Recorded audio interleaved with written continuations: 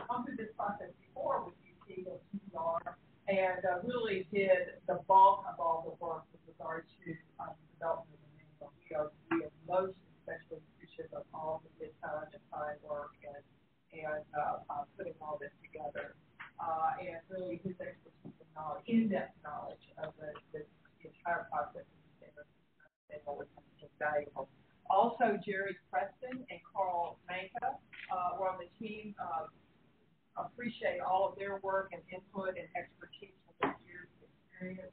Uh, Keith King, also from TBR, uh, played a very significant role uh, in all of the, the, the suggestions and modifications. Uh, of course, the TBR manual was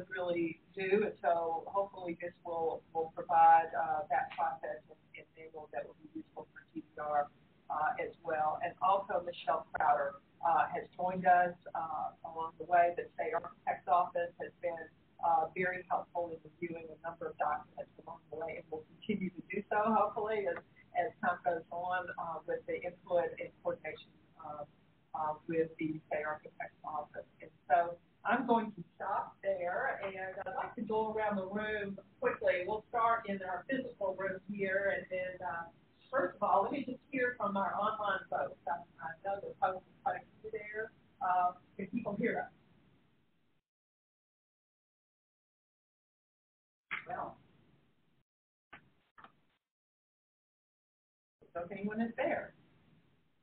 Okay? Well, we'll go around the room here.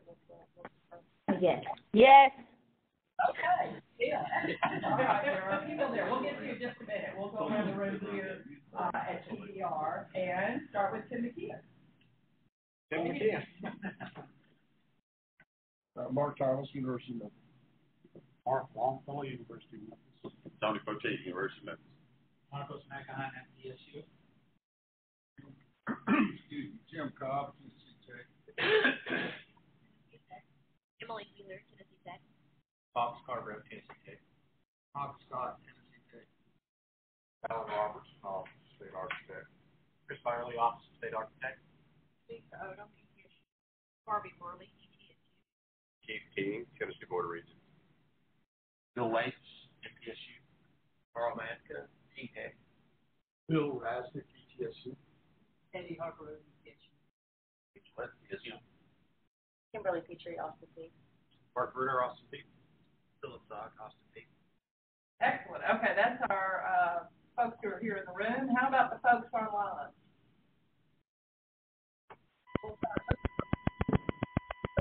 Uh, MTSU's online.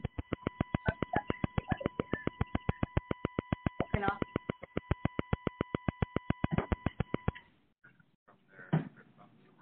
Jennifer Nelson, TSU.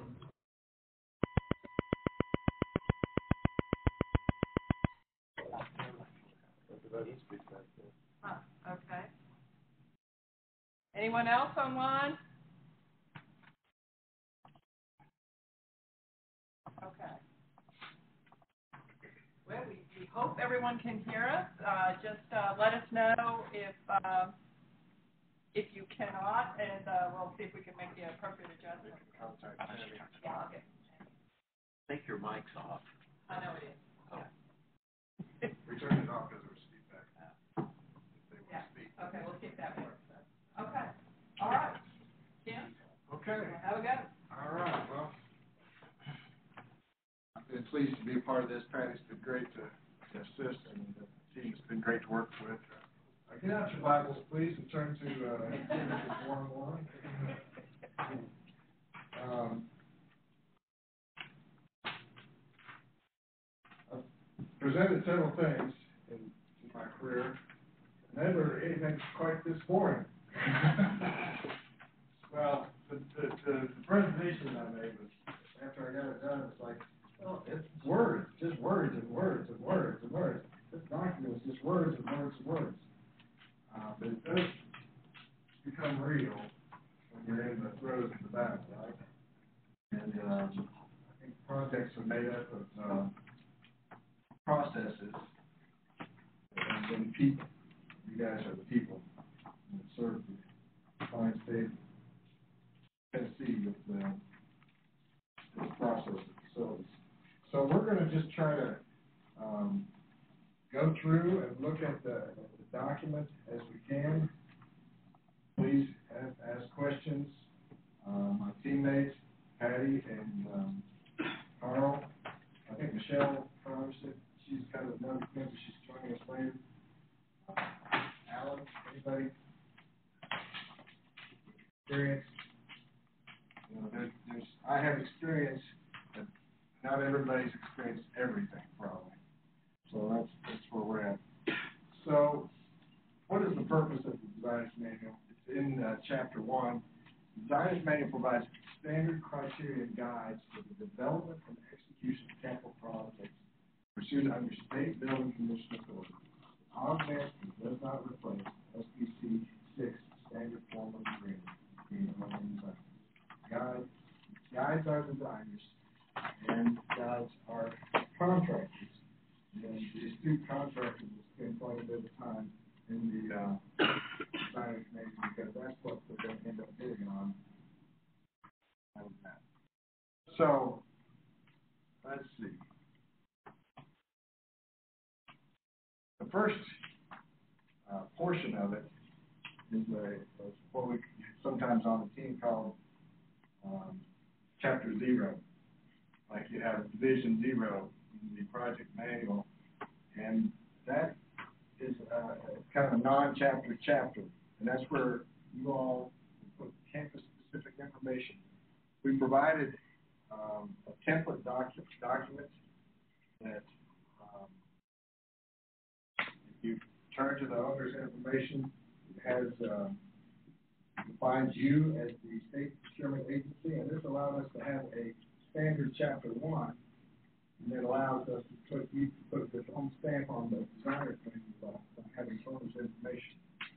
There's nothing sacred probably about the contents. Um, this is a template, and particularly in, in, we had one comment about the team roles, we just picked some that we had in the previous designer's manual. And uh, you put the, the team roles and the titles that work for, for your organization, for your SPA, put them in there. Um,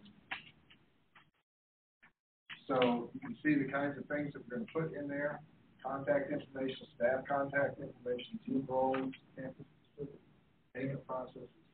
That's special information we wanna share with designers, like how we do deliveries, how we do parking, traffic, coordination with, uh, local utilities, campus utilities, plan rooms, whatever you need to put in. Try not to duplicate what is in the designer's manual. No need to do that, and that might just cause confusion. confusion. So the chapters are sequenced just like uh, a project, you know, uh, introduction, first we get a designer under contract, we have designer agreement payments, we have design, and we get in more detailed design, you have project manual guide, that's chapter four, procurement process, chapter five. Chapter six is the longest chapter because that's the longest duration of the project, isn't it? The construction process. And chapter seven is close out record documents. And we structured the appendices in uh, three parts, three appendices, appendices. And these provide the forms and the standard bidding and construction documents, that your front ends or your zero, zero, zero, one. And there are a few documents that are beyond zero, one, there's, O- there's some O sevens and some, uh, I think there's twenty-threes, and there's a few. And this appendix three is where you can have your own, uh, system, campus-specific guidelines and requirements. So appendix three is another opportunity design your own, um, attachment. Attachments and put them in the document. Now, the goal is to put, have this posted on your own website. So that, that, that folder that, uh, Patty shared with you, uh, cloud-based folder, those are ready to post. You can start building your website anytime You haven't already done so. So chapter one. I just tried to highlight yellow some things that I thought needed particular notation. Um. I've got two files, PowerPoint files of about twenty-five slides each. They'll take us anywhere from, uh, ten minutes to, uh, two hours. That's depending on how much, much. Any questions so far? Questions so far? How many of you have, uh, been a part of managing projects, uh, for over two years using this process? Most everybody. So most everybody's done this, been through this. Uh, it's nothing new.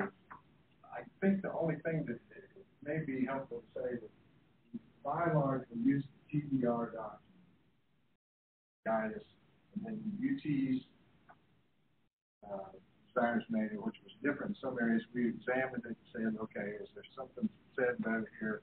And then we tried to also, out of the chapters, we tried to take out things that could be the form, like an agenda, meeting agenda, or, you know, particularly the meeting agendas.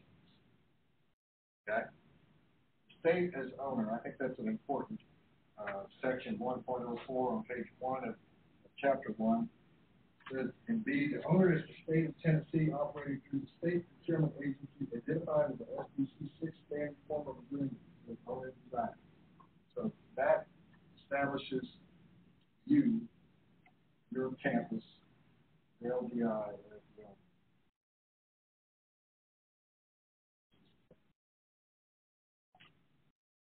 On page, uh, three of the chapter one, one point oh seven is an overview flow chart. It's a very high level, uh, chart, and it also, um, helps you picture the design process and construction process, when the state building commission gets involved, when the owner gets involved. It's not physically detailed, but gives you an overview. That's really how the, uh, process goes guide you through the manual as well. Whoops, I'm sorry. The, uh, we added a section that you haven't seen before, familiar with previous designers manuals, called electronic signatures and counterparts. It says, at the owner's discretion, documents and forms referred to in the designer's manual and required signatures may be executed by electronic means. How many, how many of you have bought a house and you have to show up for it, the document? You know, so, uh, this kind of brings us, gives us the opportunity to bring us into this era that we live in, where you do everything on the phone, my house on the phone, right? So, that, uh, gives you the latitude to establish that. You may want to comment on that in a pre-design conference, and uh, maybe you want to get more information. Think it was interesting to. Chapter two um, has the standard forms of agreement, and what we try to do throughout this an example from two point oh one. Gives you an example of what we try to do throughout this manual is to not um, repeat things that are on other agencies and other state entities' websites. And we try not to create links that are hot links in the document. Hot links tend to get broken too easily over, you know, one year, two years, ten years. And so you see in 2.01, we just say the owner uses the following standard forms of agreement between the owner and designer and the authority of the state building commission. The forms are available on the website of the Office of the State Architect, and there's list the forms. So the, those forms are not in part of this designer's manual. They're available for reference. They are a governing document. And then uh, gives you information in chapter two about the standard form of agreement between the owner and designer and how to develop that. Every step that you go through throughout the project process, you know, it's just good to review the designer's manual and what it says about it. I encourage you to do that. This is a single-sided copy of the whole thing. It's thick. It's thick. A lot to it. But thankfully, you don't enter every part of the project all at once. Also, uh, there's information there on, on uh, developing a supplement to a designer's agreement, chapter two. And in uh, the last part, I guess it's about the last half chapter actually, example invoice form, starting on page five. And these aren't forms um, that gives you an example and it does the math on on various basic services compensated by lump sum fee A, basic services compensated by multiple direct expense, expense with maximum fee, so on. So it gives you an example of how math works, and I would encourage uh, you to tell your designers, don't develop your own spreadsheet, keep your own format, make it work for your office, however you want to make it work. We're not going to do the math. We haven't done the math on this one. If you guys choose to do that in your own campus and want to offer that to a designer, it's fine. We haven't done it in the designer's manual. So those are kind of um, the information that should provide you with the ability to pay an invoice to the designer.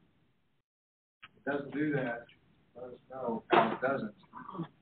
Give you what you need to do to improve the designer's agreement. And it gets real nitty gritty, how to pass things and so on.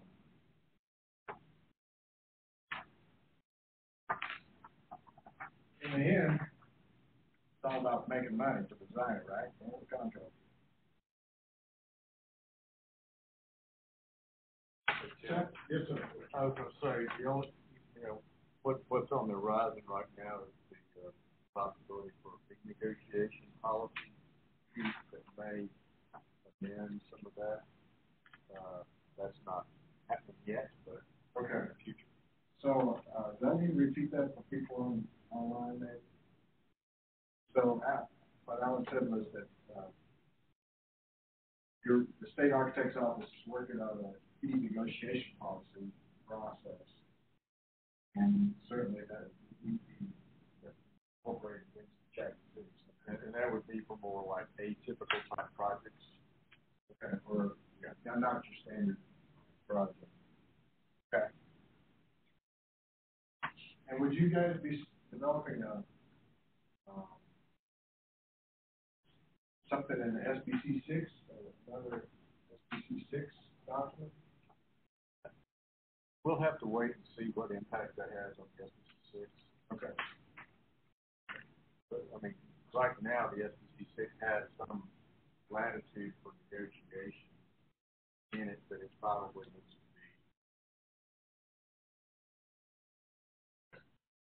codified. And then, Yeah. make sure it works. Okay. Chapter three is design. Um, probably ought to look at the, the first page of it. Um, As you can see, B here, refers to the, the, uh, pre, A thirty-one, pre-design conference agenda, and when we get to the, uh, appendix showing the forms, you'll see that we named the form, gave them a number and a name, together. A, A forms are agenda forms, C forms are checklist forms, F forms are form forms. Um, you can see in C there that tells the designer to utilize the meeting agenda forms for each design phase, A thirty-two, thirty-four, thirty-six, and thirty-eight, for the design phases. And then it refers to the design-based document checklist. Those are, provide you with guidance, guidance on how, what documents to produce in each of those phases. We'll look at those when we get to that appendix. Important, uh, note there in item F on that page, design the project to not exceed the authorized project bid target. So you're probably given the SBC one, you know, numbers on there, but it's going to higher than bid target. That would stay away from those numbers. Preparing meeting notes, this is where they're supposed to be preparing meeting notes.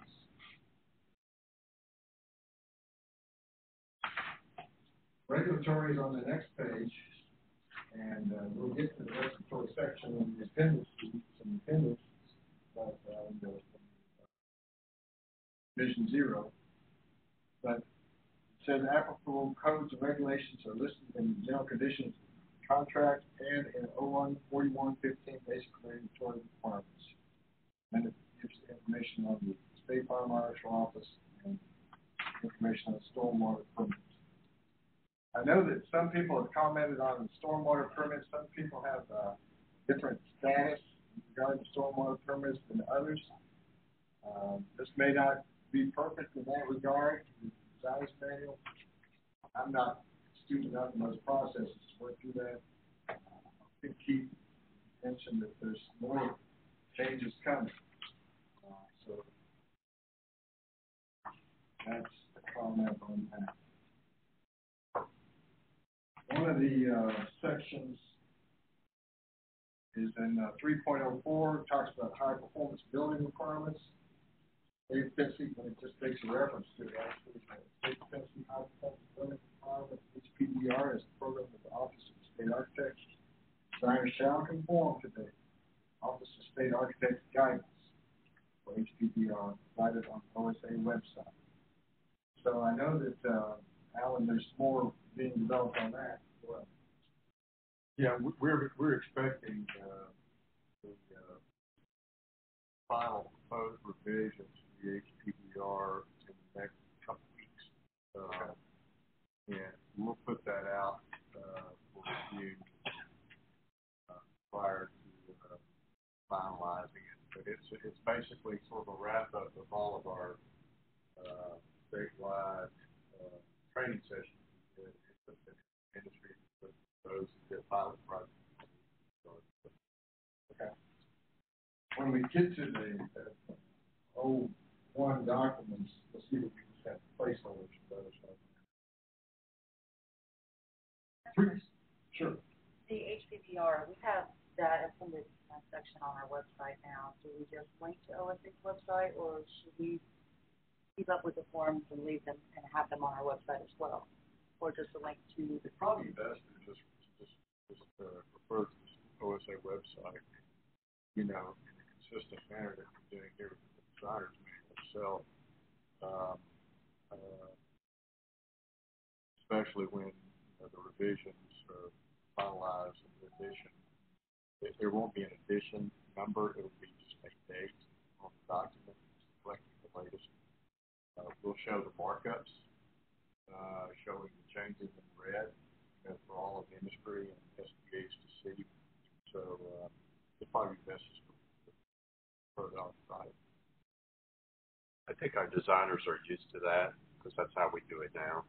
We refer to the state architect's website.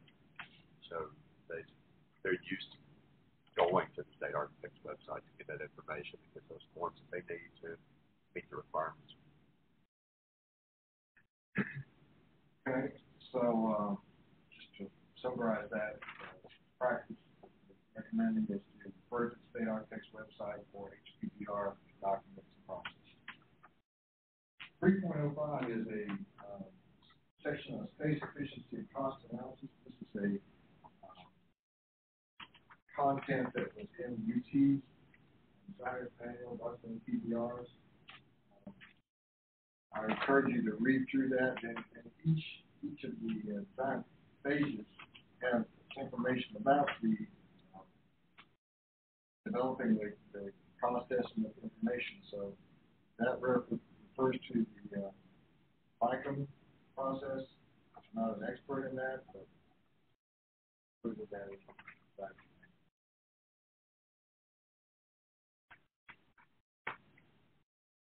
And then also, UT had a section on furniture, fixture, and equipment, um, processes. And three ten, where we put that in, the manual.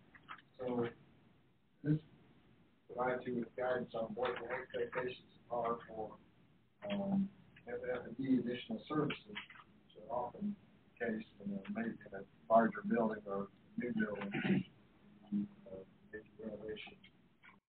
Needs additional services.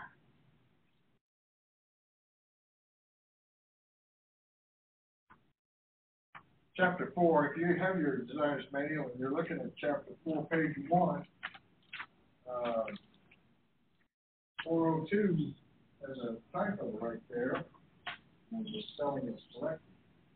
You see a typo, would you call it this? Let us know.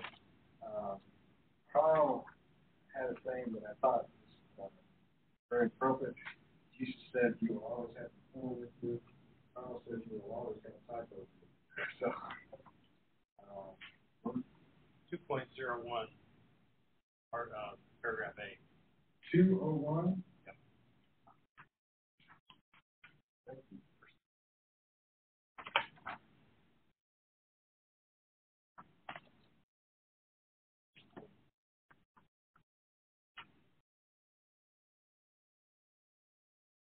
Help me out. Possessive, I don't know. Oh, yeah, Owners, that's. owners uses,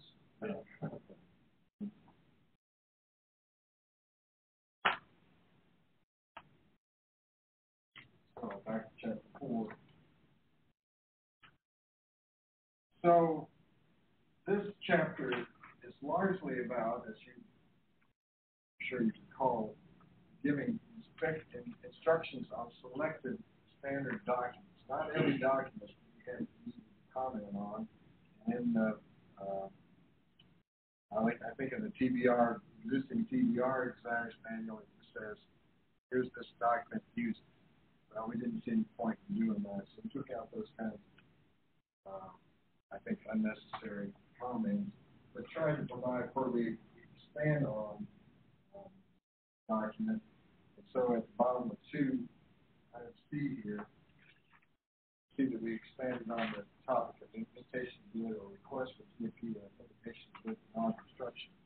Now, that gives me an opportunity to tell you that the, uh, G, the GMP, CMGC processes, documents, and non-construction documents. He said that's secondary, let's try to get this back, let's try to get all this stuff done. We'll come back probably within, say, two months. Type those up, provide those. I was told that LGIs probably don't need those immediately, but will need them for sure. Uh, CMGC probably won't have a CMGC project. This, this first projects. Is that right? Okay. So, this, uh, item one says, an a change in the process that we'll look at when we get to the invitation bid more. But it says, complete the appropriate section in accordance with the owner's specific requirements, it's an invitation bid or request for GP or invitation bid on construction. And make the following arrangements. Establish a source for bidders to obtain PDF copies of bidding documents at no cost. And identify the source in the invitation to bid. Any charges for this service should be reviewed with and approved by the owner prior to using the source. Secondly, arrange for bidders obtaining bid doc, bidding documents from the established source be tracked as bidders of record that will receive a addendum. Carl, you want to add any, Carl did quite a bit of research on this. You know, I, I called several architects and a couple of people that do that, and it seems like everybody else in the whole world already is doing it except us, so it's not like we're plowing new ground here. Uh, but there are services like, uh, there are three that, that are used in the Nashville area, and all of them have various forms of, you know, you send in or arrange to get your documents, they will post it, they'll do they'll do a lot of your work if you want to. They'll send out notices a list. Somebody has to establish the list, uh, and uh, they'll they'll actually uh, then mail out addendas or any updates uh, or anything like that. Yeah. So, so they, we're, we're, we're tasking the designers, don't get one of these sources. They, man, they probably already been doing. Yeah. So I don't think it's anything new to them, but it's new to,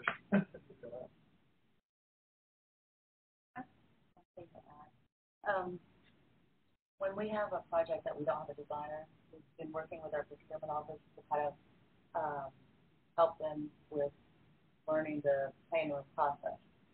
And we ran into, I guess, maybe terms and conditions that, um, the procurement office, I guess, there's a difference between the construction design and procurement.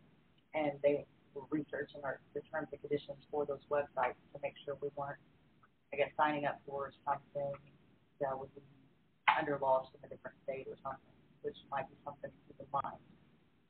So we're checking into some of the plan rooms right now to verify that, um, we can agree as an SPA, and the procurement office can agree to those terms and conditions. It was something that just kind of unfolded as So we've your, been doing your projects. procurement office wanted to know about the terms and conditions of Plan the planners, for us to Or- agree to them. ownership of documents, what was their concern? We don't know, we don't know what their concern was. They, they, they, they think differently than. Sure. Another life I have, the, the, the IT office, and this, they, they, well, uh, the IT people would like to know what's in that, when the, when the employee clicks on agree, I agree, Yeah, similar. so, but at the same time, the IT office is not gonna tell Microsoft, hey, so what happened to the right. So sometimes they have success changing the agreement. Okay, that, those instructions continue on the next page. Communicate to plan, web address, and process to access building, bidding documents so they can get the same, same way, plan. And ensure, ensure hard copies of bidding documents that are available for non-returnable purchase. Bidders record, the establish our so, settlement. So Michelle is gonna go over chapter five with,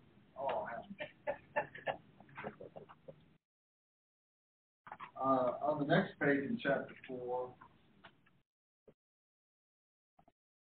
Conditions, that's what it was. Um, the general conditions of the contract for construction, say very little about it, back, and you omit here, uh, which I think, uh, came up, uh, correct. I think it's worth noting, the marker, general conditions. So, do have the marker, um, document, Vision Zero documents. UT didn't use it mark the document. We just said, uh, now here's the general conditions, and there's fifty pages of it. They don't care if we have to fill fifty pages. Uh, TBR has had a long history of, hey, we'll save a tree or two, and then the preliminary documents, just use marker, you can always find the, the document on the website. So, this gives you the option you know, it gives the designer an option if they want to go ahead and you know, prepare a draft document to include you know, general conditions, fine. If they want just use the marker, draft set of the project manual, that's fine. So, I don't know if I adequately described that. Keith, do you have any comments about that?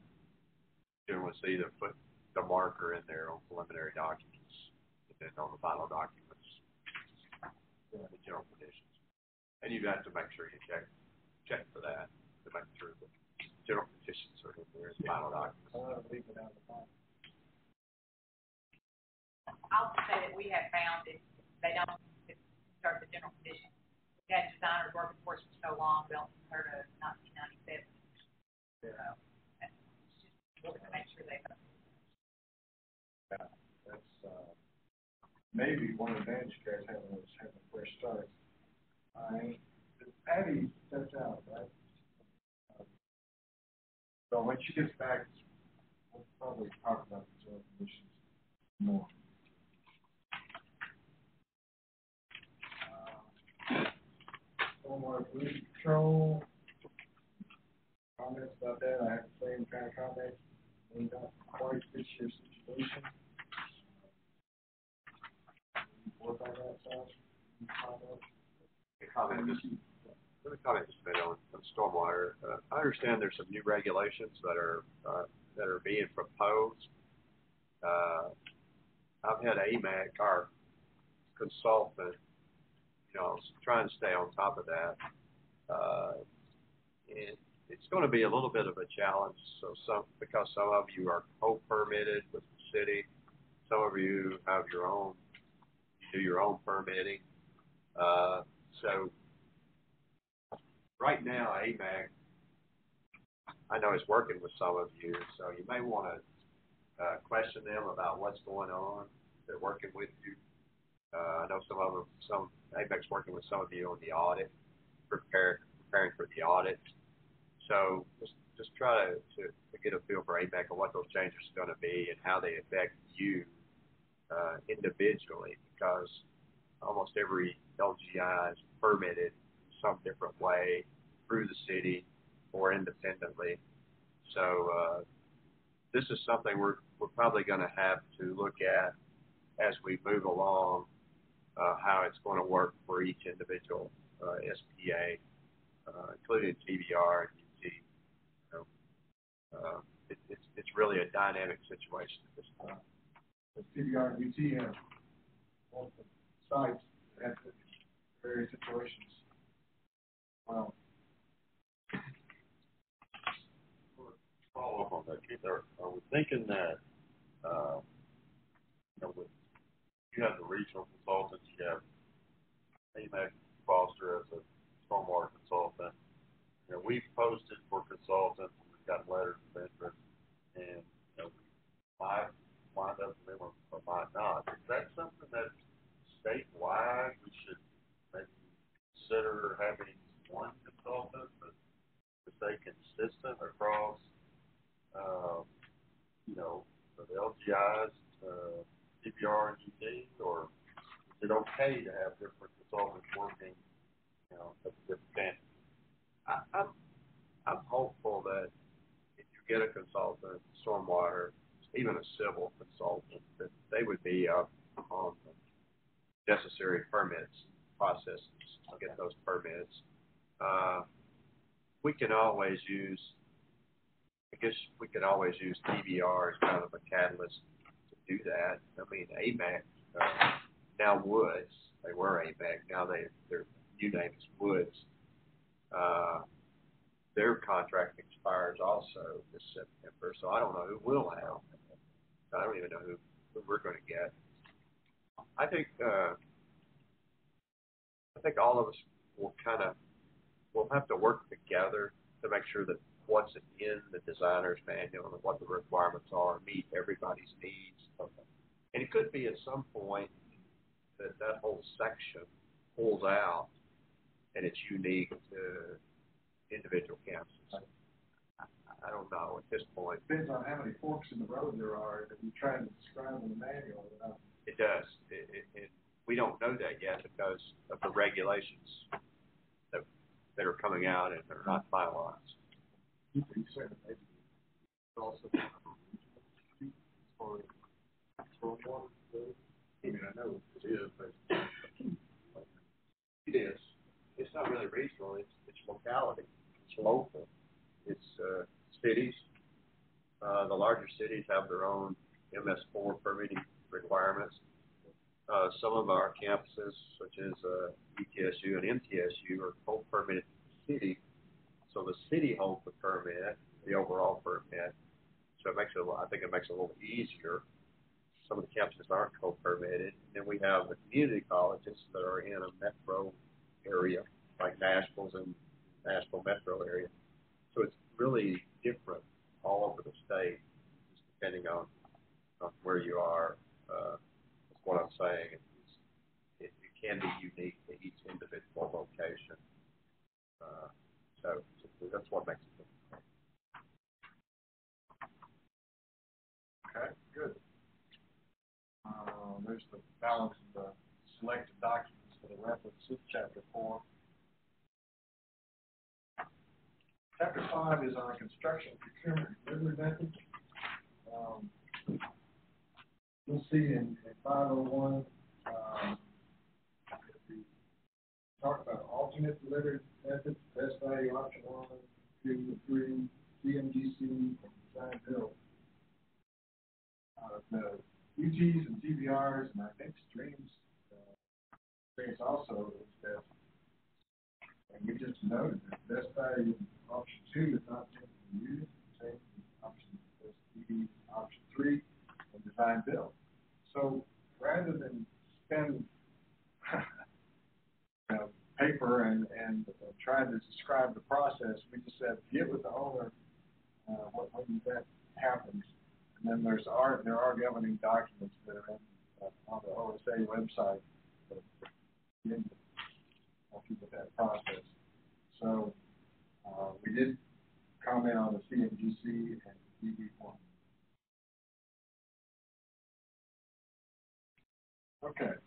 I, I didn't, uh, highlight there the uh, pre-bid conference and addenda, but there's kind of an extensive section that starts five oh three on page one, continues, top of page three, talks about conducting a pre-bid conference. This coupled with the uh, pre-bid conference agenda document, A fifty, agenda, excuse me, like the A fifty-two, can really help provide this. These are critical communication points. Pre-bid conference, bid opening, and, uh, so those, those are worthy of spending some time on and going over those with your designer for the input. Five oh six is the bid opening, and again, you know, this is we're down to one piece of paper and, and a lot of money riding on it, a lot of, uh, decision points. So, there's a long process there that starts on page three, goes to page four, five, and six. uh, you know, we, we're not intending to read to you this here, but helps designer, helps designer what they need to do. Open. Just like the nitty gritty details of the report. One thing I wanna note in, um, on page six, letter O, the document. So Michelle has had, uh, uh, experience at UT where she told us that, uh, she had to give away some money because the words and the numbers didn't match. And so, uh, comment on that, Michelle, so they, they would leave off, leave off the word thousand. Now, a lot of them leave off the word thousand. Nobody writes checks anymore, so they don't know how to write anything. Out, so they'll leave out thousand or they'll, So, so if you say the word prevail, instead of a hundred thousand dollars, it's a hundred dollar bid. then it's too low And and, then it's too low. and then it's a clerical error and they have to withdraw those. And then, yeah, so it's just a mess. So, uh, Jerry Preston was talking about some, some process he, where he was involved, they were arguing with lawyers about words, words, uh, prevail versus figures prevail, and they just decided to take out the words. So here's where we land. Sentence two. Words and figures differ. Figures will prevail. And I know you're an old timer that, kind of says, huh, uh, figures will prevail. What section, what section is that? I'm in, uh, five oh six, I'm on page six of, uh, chapter five. Opening of bids. Item B, letter zero. And, uh, Is there of making a suggestion? Uh, because we were having that issue with a couple of our smaller, uh, contractors. And instead of having both of them on there, is there any way that we can just modify it to where it's just the figures instead of having We them fill in both? That was too much change. I guess what we landed on too was that if there was a numerical value there, we didn't make that one four or seven. It kind of gave us the extra backup Clear. Let's look at the bid form. I think I can pull it up. We put it on bid form. What's your name? Kimberly, Kimberly, we put it on the bid form.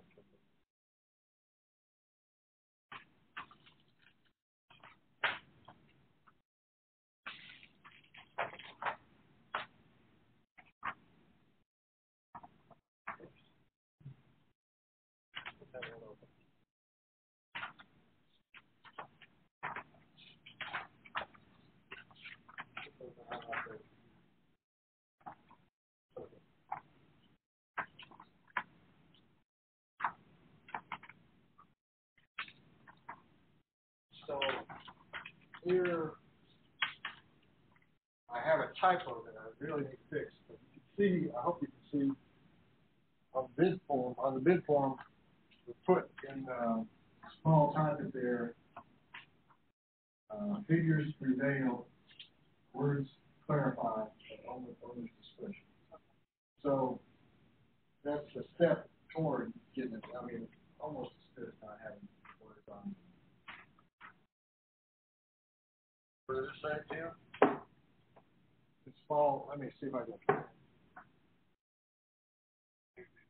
right above alternate number one. and right above the bid, base bid. When I, where my typo is, when I fix that, uh, this phrase in both words and figures should be in parentheses also. For this project, for the lump sum of, both words and figures. And, uh, so we, I need to fix some formatting, The figures prevail, words are clarified, owner's discretion. So that's in, I think we have it, so we have it here uh, for the designer, and then it's on the bid form.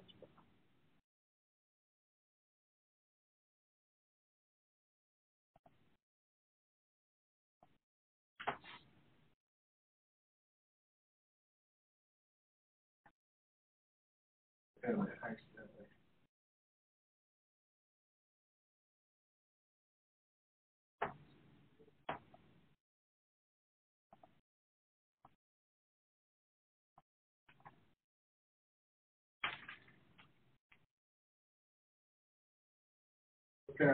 I didn't, I want to also call your attention to, um, item M, letter M of the, uh, drug-free workplace affidavit. So when we come to that item, this is a new document that's required with the bid document. State law that we, uh, reviewed with the state architect's office and submitting for a uh, construction contract with the state. to Provide drug-free workplace affidavit. Talk about that more detail, but we have a new section for it. Do we have a template of the document? Yes. Has to be notarized. Yeah. Raised. I didn't say that. We didn't require that. I don't think the, I don't think that's on the law. Typo on page, uh, last page of chapter five, I have a numbering problem, so I have to fix it. Five, shouldn't be five point, ten, it should be five point nine and five point ten. Okay, chapter six. Got sixteen pages. Pre-construction conference, um, I said, important communication point. And this talks about referring you to the pre-construction conference agenda, when you, when you get to that agenda, I think those pages. On maybe seven or eight pages. So that's, um, maybe I'll think of construction. Yeah, I have, I have things like pre-construction conference agenda, because this, this, this is when you kick off things and you have to set the pace, as you well know. Contract, how, how, what your expectations are, what they're have to live by and do. All in the documents, if it's in the documents, that doesn't mean they, they've read it, right? Doesn't mean they understand it. So, Important time to get together with them, go over So there's lots of information in here about, uh, how we're gonna conduct construction projects. Um, six eleven is an important using request for proposal. Uh, when I first, um, started dealing with the designer's manual, there's a section, oh, six, section six point oh eight. I, I just thought, huh, that's very insightful. They call it planning for changes to the work. Like, why would you want to plan to the work? Uh, the documents are perfect, and it's still down with the changes, right? So the request for proposal, first to the request for proposal form, six eleven, sixty-four. Each RFP and E should address a single intended change instead of individual related changes. Requires that the designer log and track RFPs. Six twelve talks about uh, claims and proposals. Have long section as well. Goes on for two and a half pages.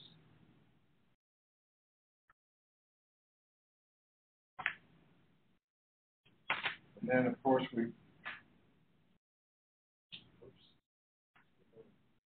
contractor applications for payment on section six point one six, page ten. And the nitty section oh.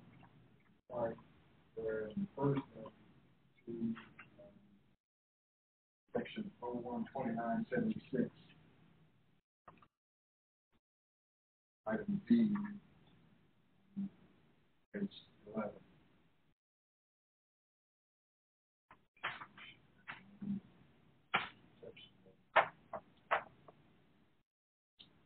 substantial completion, it's on page twelve. We have an agenda for substantial completion meeting, referred to in item six, two.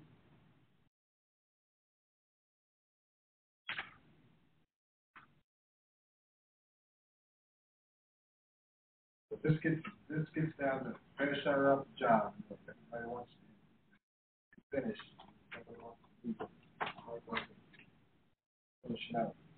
So that goes on for quite a lengthy section as well, using standard F seven two certificate of substantial, completion, go to the top page. And then final inspection. Uh, Six twenty-one.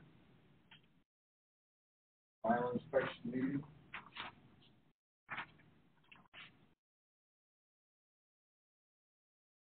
Typo there on page fifteen, along section number six.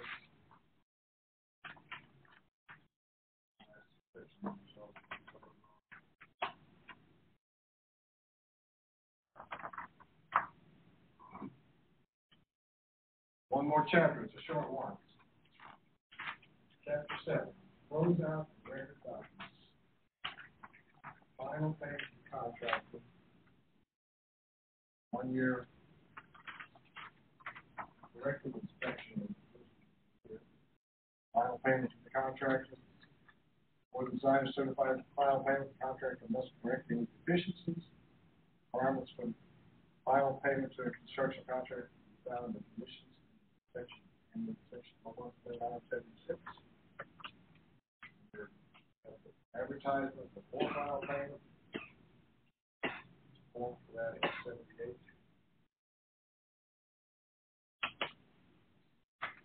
Tim, does this, does this parallel statute more for final payment, contract for final payment? Action. Uh, SBC policy? Oh, yeah, So, yeah, without a bond. Statute. Everything we do follows that. We just refer to. Right. But I don't remember checking the. It's set up- statute, but, What was it, the current Jefferson bond? Yeah, it's project without a bond that requires the notification. Oh, okay. Right. Now, we do, Good for all. we do. There's error on seven dot oh one A. Where at? The fourth sentence down, in as much, Which chapter? seven dot oh one dot A. Give us three words. In as much.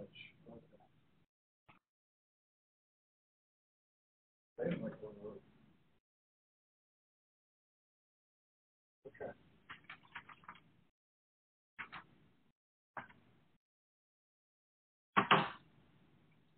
Who drank, who drank coffee this morning? Like, have, just take coffee for these folks. I thought you were taking your vote as a did. Should we, should we take a break? Yeah, uh-huh, minutes. Okay.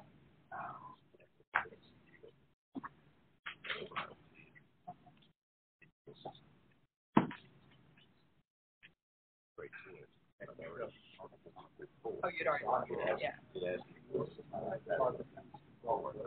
If I go to that.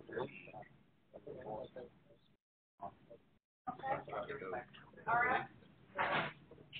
I have not, I have not worked at TBR, so I have no idea. Thank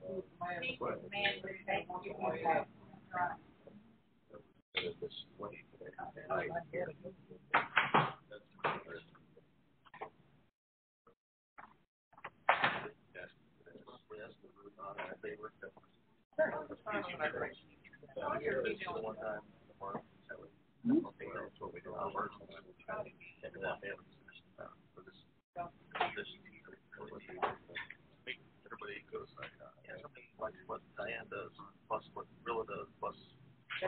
What, I do. what Barb Jernigan used to do.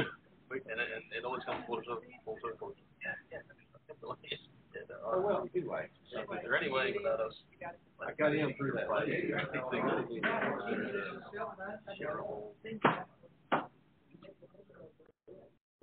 Um, well, I could have Mark do kind of, I guess, description of mine, but however, of more than the whole of my own. It was just how. And I was thinking of kind of writing kind of my own SOP for each process. Document, the delegation, and then SOP, uh, battle, and then uh, supervisor selection. Um, actually, I was, I said everything into my good being responsible, and I actually find our evaluation system, and I get, I gather everything that goes out to the evaluator. Uh, I got it out of, we submit the recommendations, and so it's each one, but yeah, I mean, I'll, I was thinking about writing something about, you know, doing that and doing contracts and doing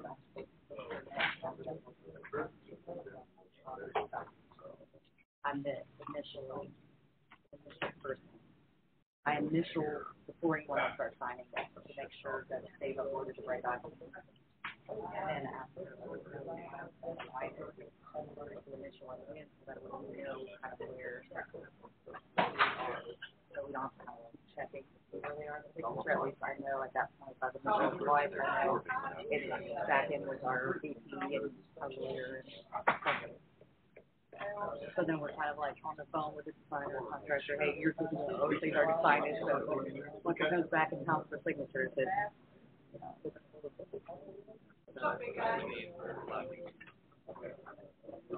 yeah, um, Mark, he was talking about, um, I guess part of what my job description is, and I told him I was actually thinking about doing kind of an SOP on, since it kind of morphed into doing contracts and things like that, a little bit different than the the initial, and, uh, you know, template.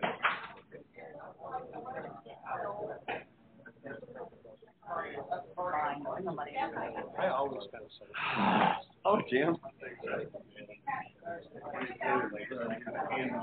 No, no, it's not a meeting, I was walking, I went in the store. all really kind of. And I'm just, uh, just like this. And all of a sudden. And all the different processes, kind of, Well, especially with my unit. You know how, this is just strange. Around,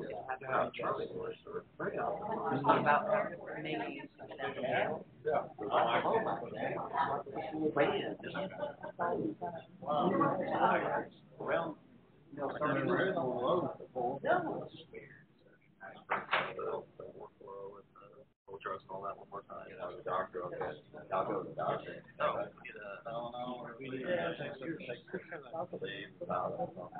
I don't know, just say, well, you know.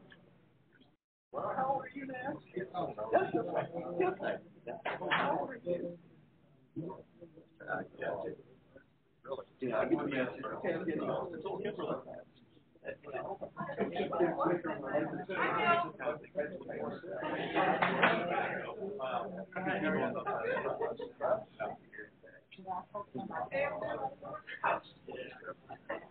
Great.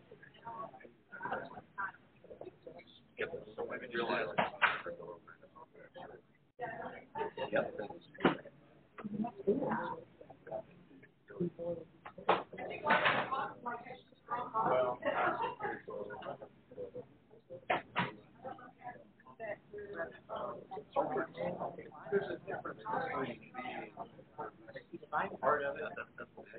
So we, but we're, yeah, that's somebody else. To,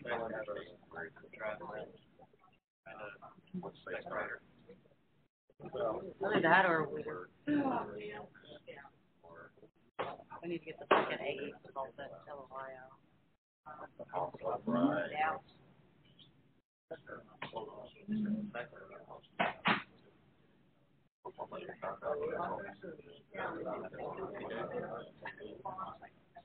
We, uh, learn as trying to use that control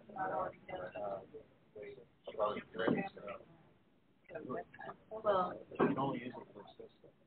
And ask permission for this to be the designer. Really? Yeah. Like second. I tomorrow is the first day for the flag.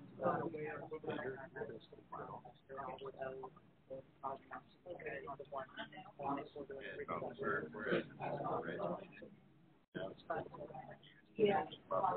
Well, we're fine. It makes it, it makes it. We, she did that. Yeah. Quicker. Yeah. Uh, but you can, Did, did we do that? Yeah,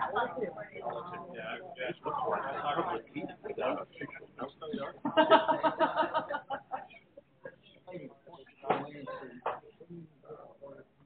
This comment was, I appreciate Trying going down the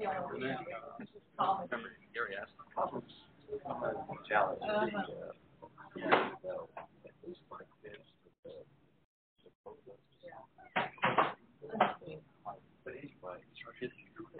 all? I don't, I didn't see down the second floor. It's Um,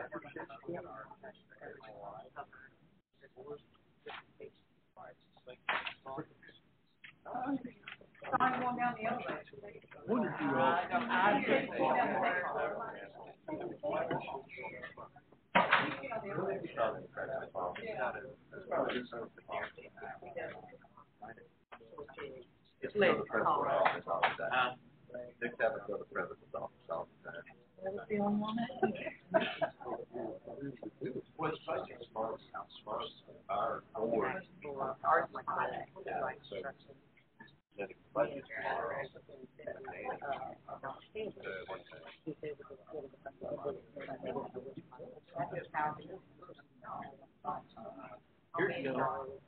Um, Yeah. I've got it on there, all the other kids in the- Yeah, we just. You, why don't you Yeah, You know, whatever it is. No, and there's, and even that other set one, they were supposed to give us that grid thing, so we can try to follow our path. Absolutely.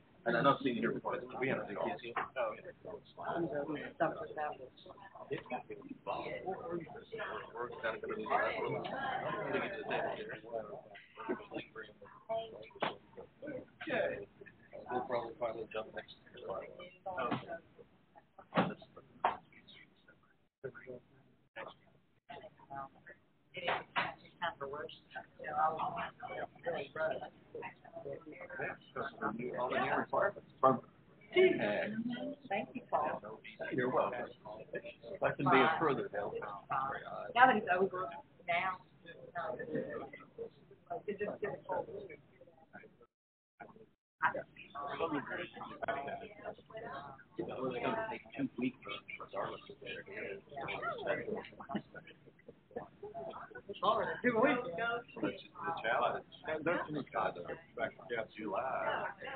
So, yeah, I mean, I wouldn't, I mean, I thought my stuff was All that's side fish or whatever in there.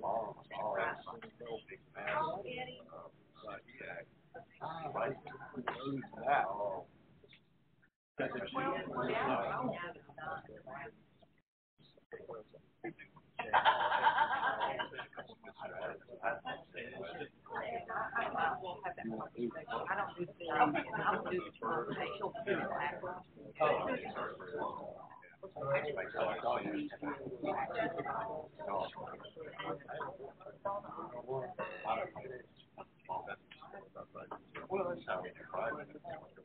We don't have that million dollars.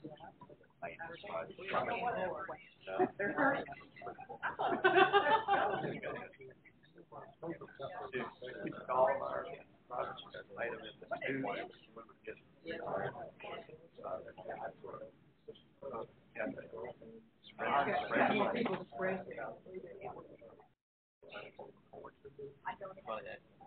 that item in the two, when we get. Yeah, but- Spread, spread. More people to spread. Got it right, got all but about five or six, or many, many, many years ago, six, seven years. I'll, I'll. Hampshire, uh, very simple. You can't speak life. Yeah, I mean, we can look at here, but based on what you were talking about, was Fantastic. We do have a lot of underutilized. Uh,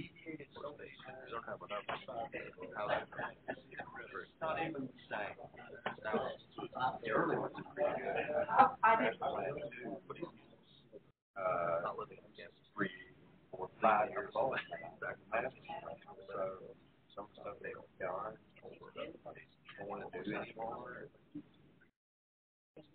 They still out there for this one. Oh, we, that's like three, we only got one person. We had a couple of rules, we said we're gonna come two, three hundred thousand. They came in, and now they're supposed to be five, two or five. There's like and I right downtown next to. Yeah, I ride. But look a lot of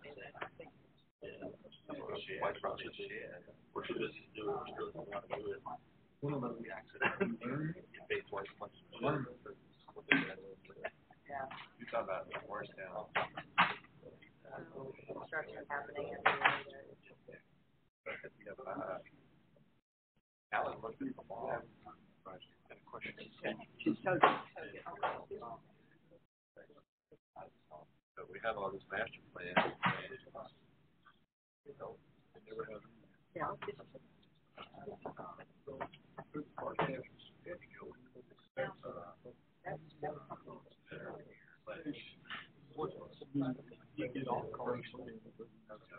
Okay, five minutes, there for five minutes.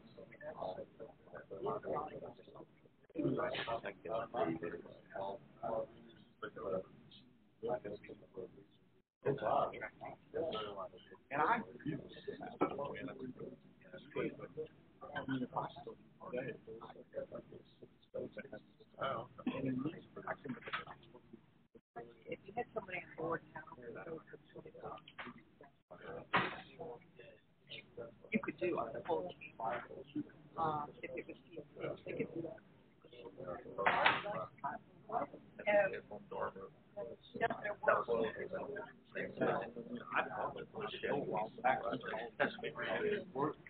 but.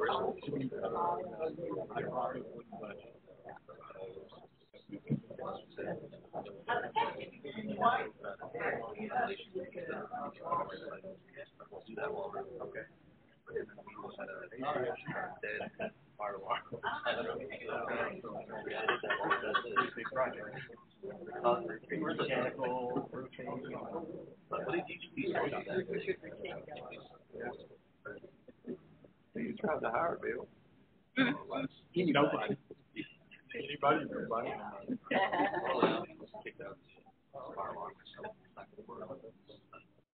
You can always. Tell there. Yeah, it's always something in there. The maze has got more twists and turns. We've probably been down every maze. Sometimes we hit the, the wall. Um, Yeah, we're just talking about the points. I, I just don't. to maybe help reduce the Well. I mean, we got, trying to get these jobs done during the summer. Exactly. That's usually mechanical.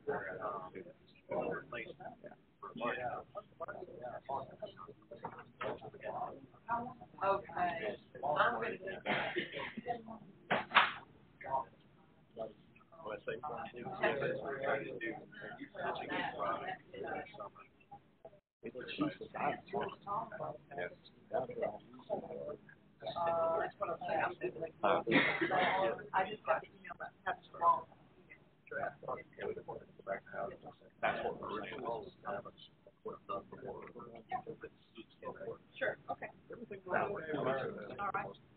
Sure, okay. That way, All right. Before they get back out. Yeah.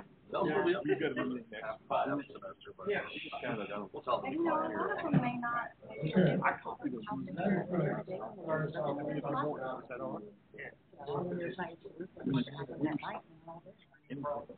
We're just gonna. Some say we drink. Yeah, yeah. Star, but it's gonna be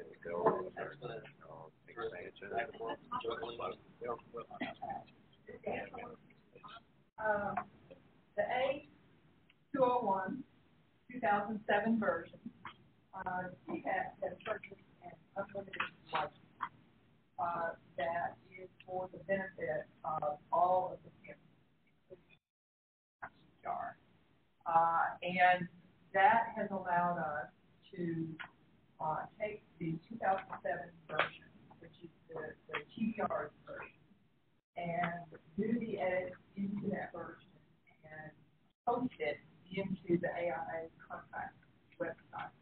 Uh, some of you have sent me an email address for your, uh, your user who will represent your campus. Uh, some have not.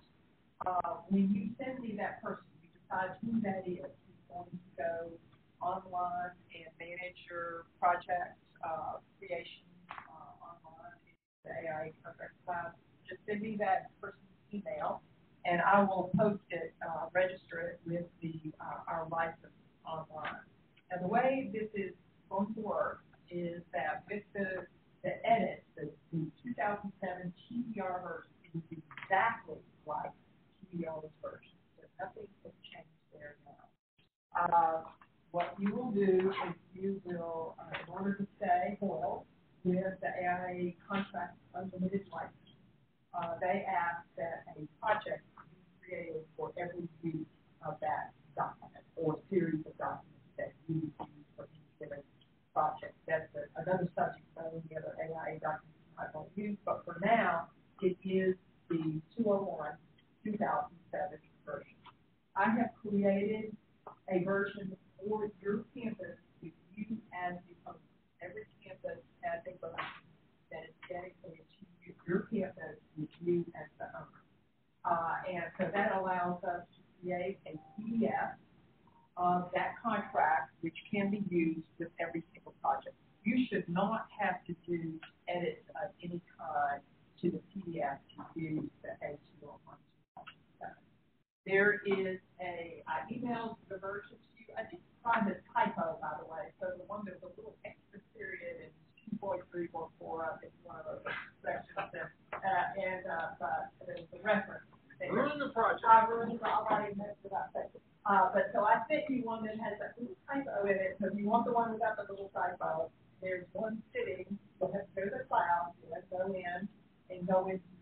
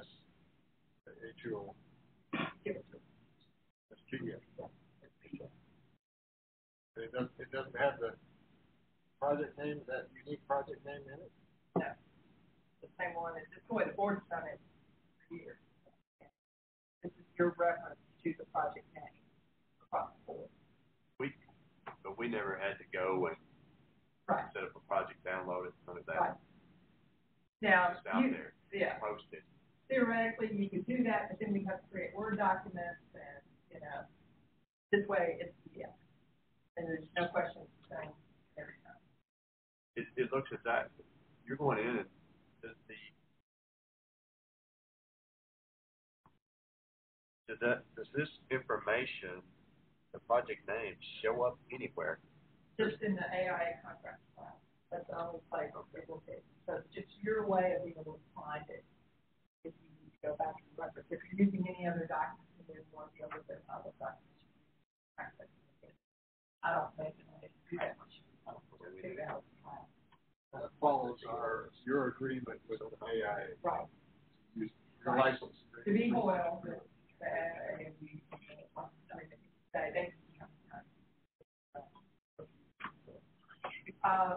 so our current effort, as many of you know, uh, AIA is, has revised the H one, their two thousand seventeen version. And now the team is going forward with revisions to the two thousand seventeen version using UT's, uh, you know, references to their current document and TBR and merging it into a new two thousand seventeen version. The two thousand seven will expire the end of October. So we're on a crash course to make the modification, by around August, September. Uh, the, the one thing that we do need to go through is approval from the architect's office and particularly insurance, uh, that we're getting insurance requirements lined up. Uh, there will be revisions also, uh, with the, uh, laws with regards to state wage rates and so on, so that are all consistent with, uh, current legislation with regard to wage rates. Uh, and those are two, two specific items that we'll be getting into.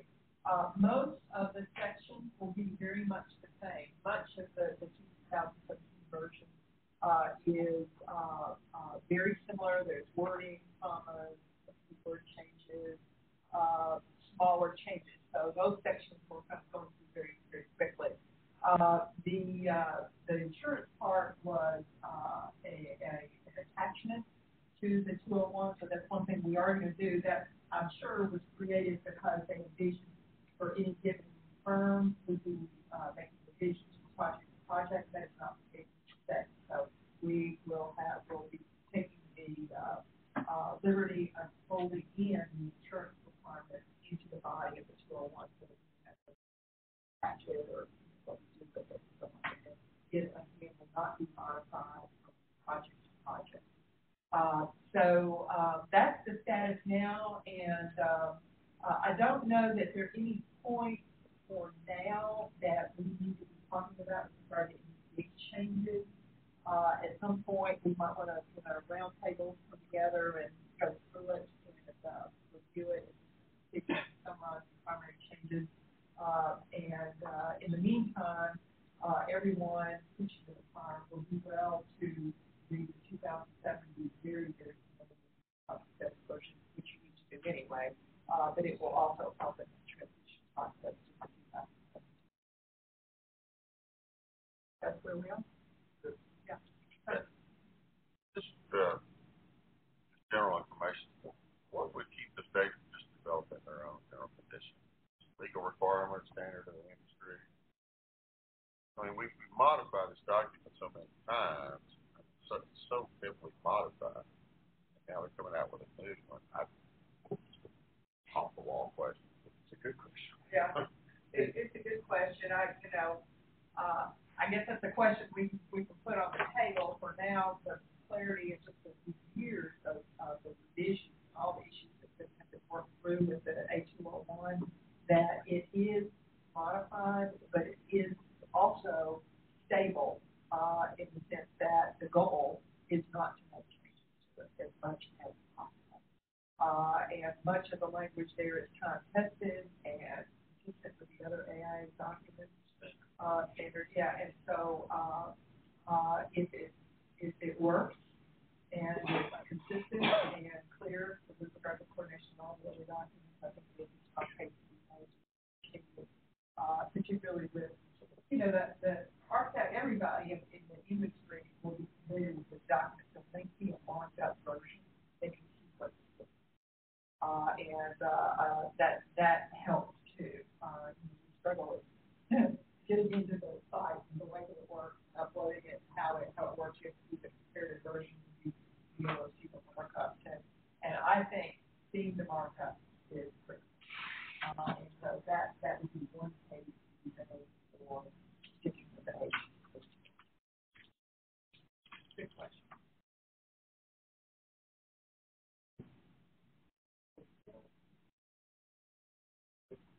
The question brings up another thought to me though, that is, uh,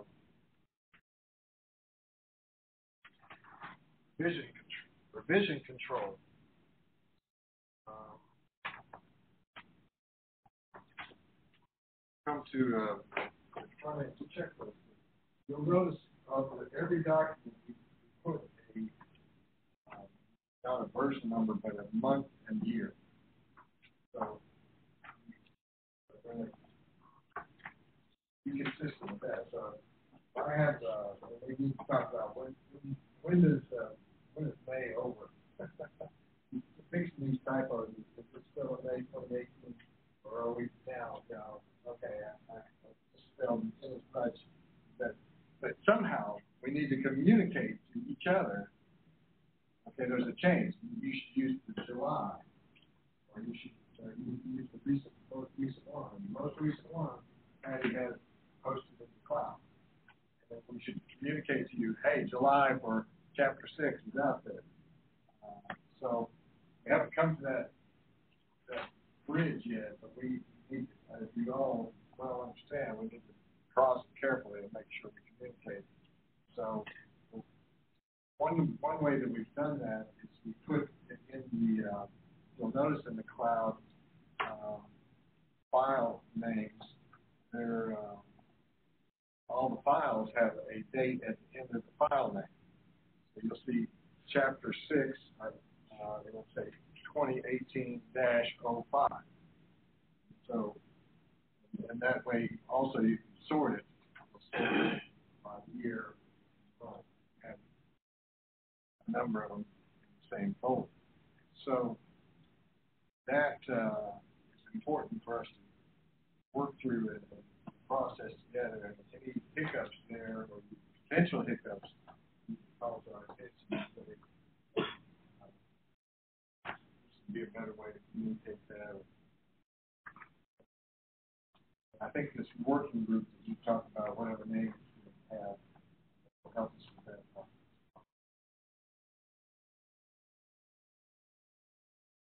Okay, so, uh, the, uh, balance of the designers manual, that much of it is, uh, appendix, appendices. And I'm just gonna highlight a few things in each area and try to go through. This gonna be done by two o'clock, I think, four o'clock, was four o'clock? May go to Tell me, five. Joe. Okay.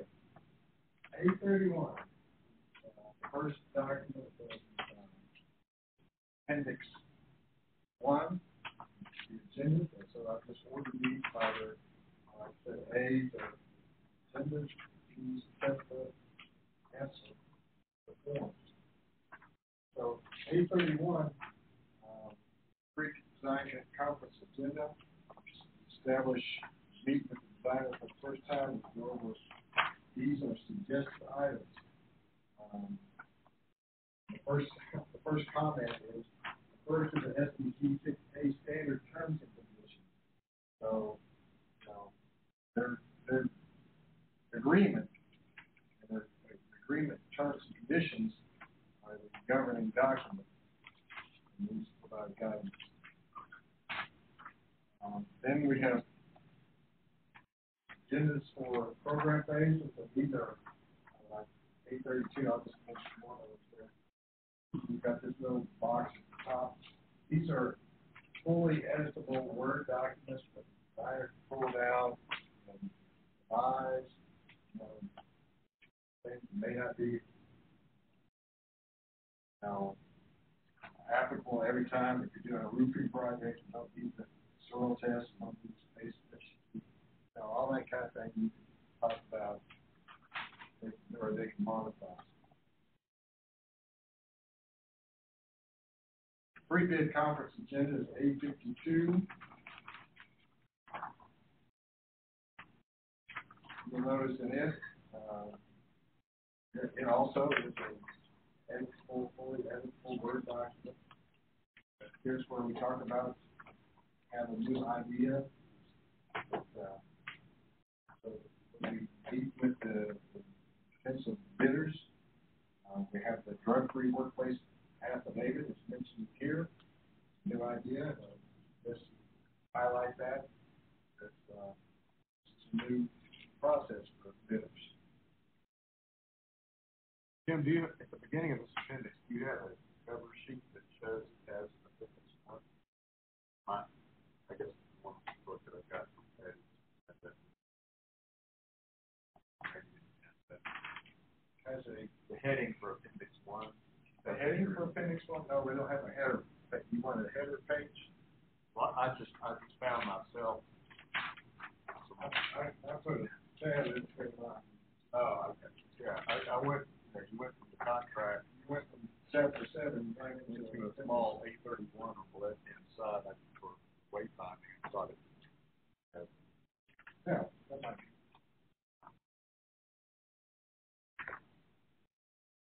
Something to look at. So maybe uh, a header page. Yeah, for the appendix. I don't know, even maybe increasing the font on A thirty-one. Or we could do, a- we could do a content page too.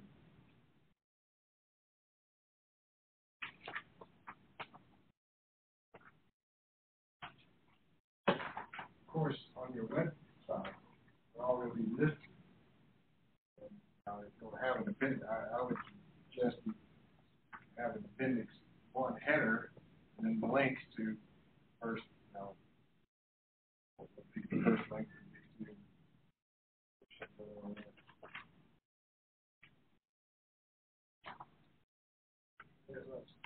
Oh, you turn it over, it goes the other way.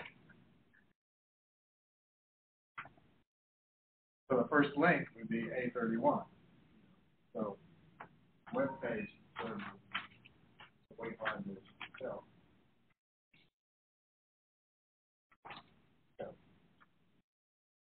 So there's the, the meeting agendas for each design phase and the pre-bid conference, so that, and we that. Sixty-two is the pre-construction conference, I already mentioned that. Um, And this seven pages long. This is where you're gonna sit down and say, okay, this is how we're gonna run this project, contractor. And Signed up for a state job, you're gonna have a state process. That's way it is.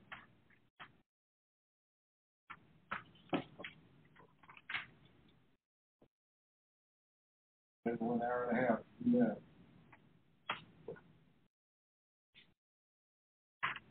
Uh, let's look at some of these checklists, like C thirty-two, thirty-four, Max nine. Practice checklist. These were in UT, I don't think CPR had these, but they were considered about this. Sorry, right before we move on, um, on A sixty-two, the pre-construction conference agenda, Uh-huh. on four dot E, it talks about identify any special construction delivery methods. This will be established in the contract and prior to having a contract executed on what delivery methods you would be pursuing. That would go all the way back to in your SPP. Oh, that's not, I don't think that's referring to, and this is not my original language, I think that's referring more to uh, the process of construction, not procurement, it's not how to deliver a, not the, a procurement. Is that what you're asking? Yeah, I mean, we use the same phrase, don't we? Construction delivery. You might reword that or something, so. Yeah. Make sure that it's not using alternative delivery method. The material, we can say material. Insert that word.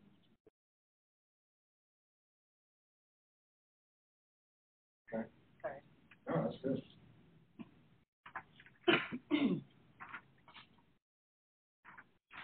Okay, so these checklists are, um, they're meant to be kind of all-inclusive. All the every project. So you can see just how the structure of it added with that, a phase going on, that it's documents. So these simple Excel forms, that, uh, have checkboxes in it. C thirty-eight, bid documents, middle checklist. And, Um, include other things like the SFMO, approval letter, drawings, other use of. And C forty-two is the, uh, calling it standard document instructions and checklist. This gives instructions when to use certain documents. I think you're probably familiar with it. Um, we've got the section number, the project, the title, and what to do with that section. Here is a place where we track the month and year that their official relates to the condition of these documents. Particularly important. So you see, got all of them, five, eighteen, some of them are not applicable because they're documents, sections, divided into create, that they're not applicable. And then you can see to be determined, listed there for like GMP, uh, CMGC sections, non-construction sections. And then they can use a simple checklist, it's got a checkbox there. And submitting to, you for review. Hey, Tim, Yes, sir. the, the deliverable section on the top of the bid documents, no checklist, is that, a- is that all in, the considered deliverables list or just prior to bid, what, prior to bid? what are we at? I'm on C thirty-eight, I'm sorry. Oh, okay.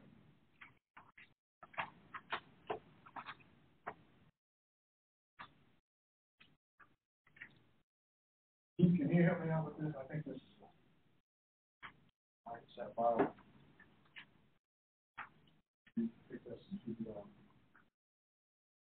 Those are the, those are the, those are requirements that we have set up for a project to be ready to bid. It has to meet those minimum submittals and those minimum requirements. We go through that checklist. It's not only for the designer to use as a checklist. TBR, on every project, we will go through this checklist and make sure that the designer has done his job, basically. So we utilize that as much uh, as probably the designer does in verifying that the project is actually ready to hit the street and all the components are there for that for that project to hit the streets far as close out of five. You know, this is this this is just part of. This is just for bidding. It's to make sure make sure we've met all the requirements. Uh, SBC, state fire marshal, all those requirements for a project ready to bid. Okay, so um, another back on C42. Um, letters abbreviations, or stands for, G stands for general or all types of projects. C is for, um, traditional lump sum bidding projects. D for CMGC projects, trade bill. E for best value projects. C for, uh, basic commission. Those C's appear on the second page.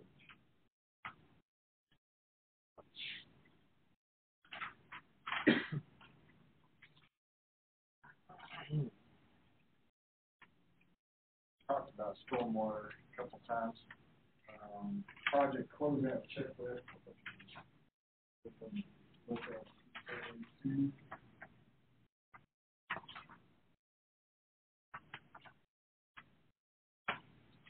That also helps you, helps the project manager, uh, see that everything is there and as a designer, so.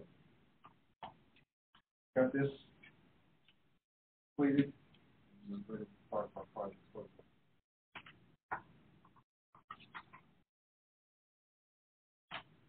Designer's cost estimate is F thirty-two, I think that is a smart, I don't know, I, think that's simply an Excel document. Some calculations. In the bid tab, uh, I like what Jerry Preston said about the bid tab. This, use of the bid tab is kind of an IQ test. Uh, the intric, it, it, it involves forms, but you break it down, it makes sense. So there's a different, couple of different tabs on the, uh, Excel document, but, uh, I don't know how this, this one, I think the second tab allows you to print on two pages, or less, you have a lot of bidders. So, if they, two designers, they wanna list this and do something else with it, uh, put on the web process, whatever they wanna do. This, this has the basic com, components to it, and we added to it, um, so there's these check, check boxes there for time statement, addendum, acknowledgement, whether they have bid security, uh, whether there was submitted unit prices for the required, and then the drug affidavit, so that's the drug affidavit checkbox now is added to the bid check. Column for them to check off. Got a place for the base bid and up to four alternates. Well, you may be, if you don't have any alternates, now they want to use those columns, short form. Um,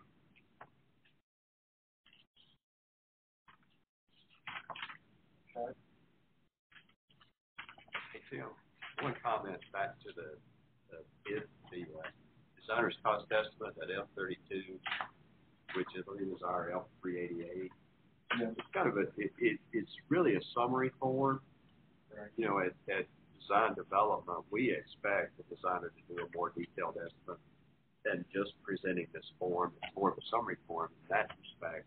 At CDs, obviously, this is a, is a good form to, to summarize Right.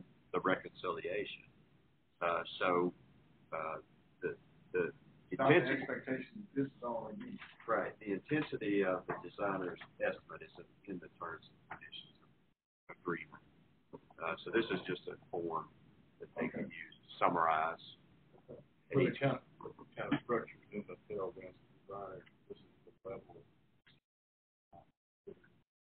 Right, At a summary level, the, the individual phases.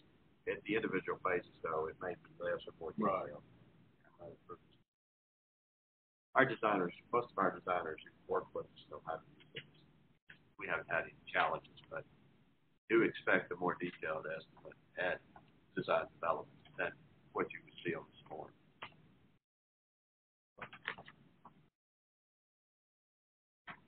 so, I was gonna pull it up, What number does that, does it have?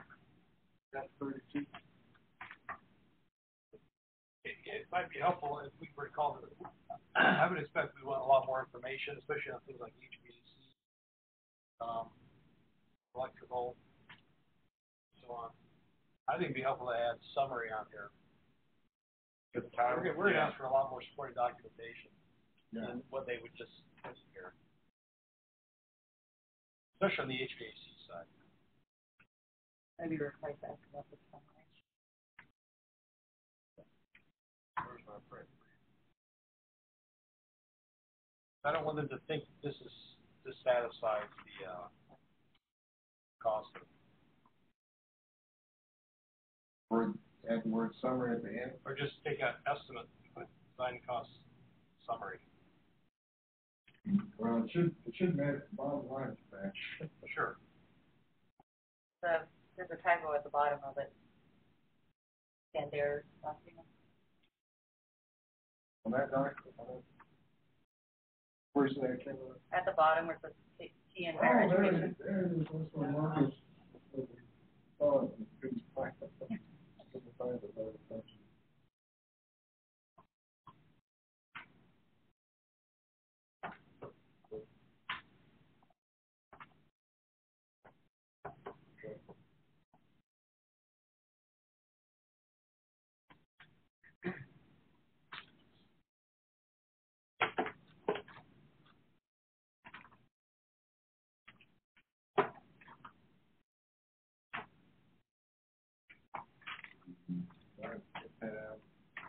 Request a proposal, talked about that. Proposal recommendations, highlighted, taken with, uh. Request on that, uh, they can use this form or AIA form G seven oh nine. So that them the option, you, content, and the, uh, proposal recommendation content of the letter. Uh,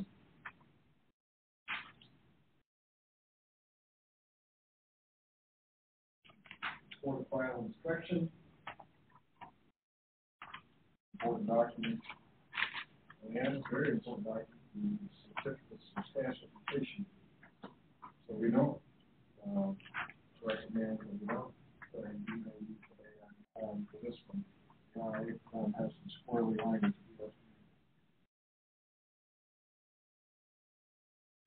Okay, invitation to bid. Uh, Invitation to bid document that we have now, uh,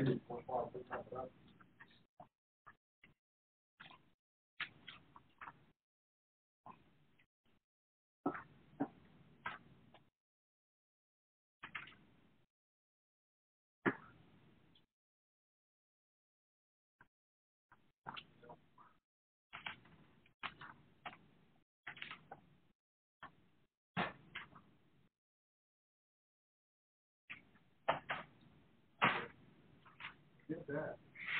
Oh, front of us. Um,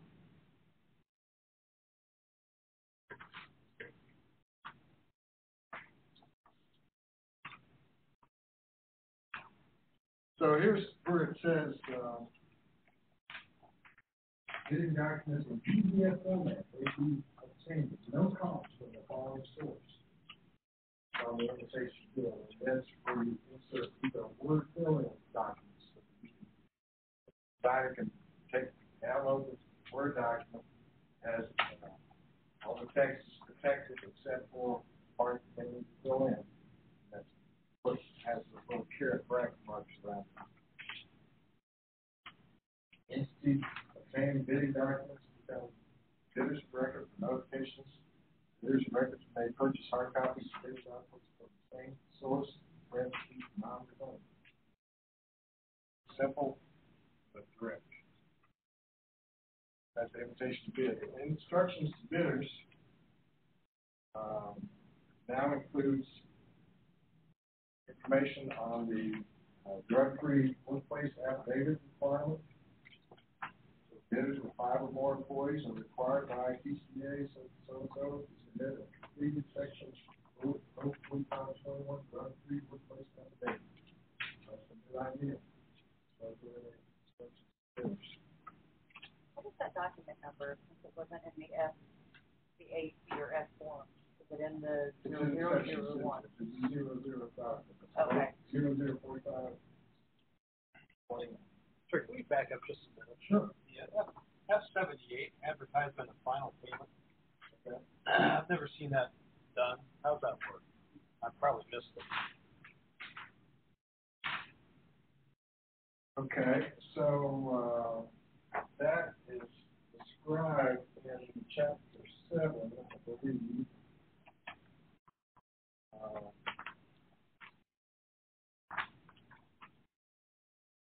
Says if any of the above circumstances apply, talks about,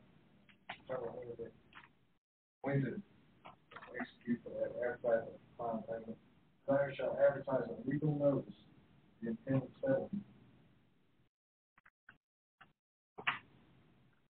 chapter seven is, uh, gives you that, um, requirement.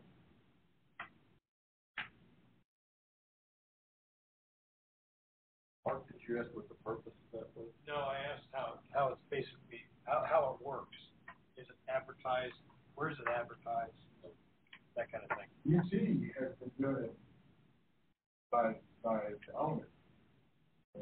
We submit a, uh, classified ad. Like a legal notice. We know it's more, I think, Brett. Right. Subcontract.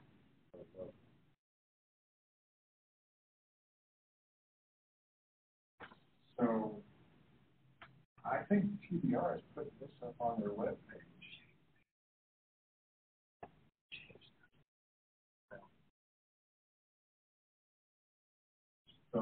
Keith, is there insight on this, or is that kind of have your? I'd have to ask James, but I know that it's a check off on some projects.